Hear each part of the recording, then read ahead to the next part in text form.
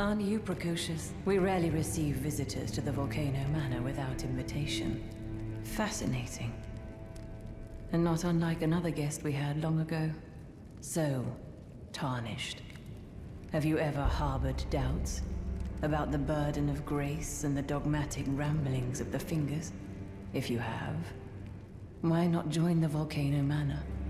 And fight with us? Rise with us? Against the Erd Tree? Decision is most welcome. Now you belong to the Volcano Manor family. The drawing room lies down the hall. Make yourself comfortable.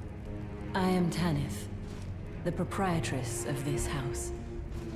An honor to have you.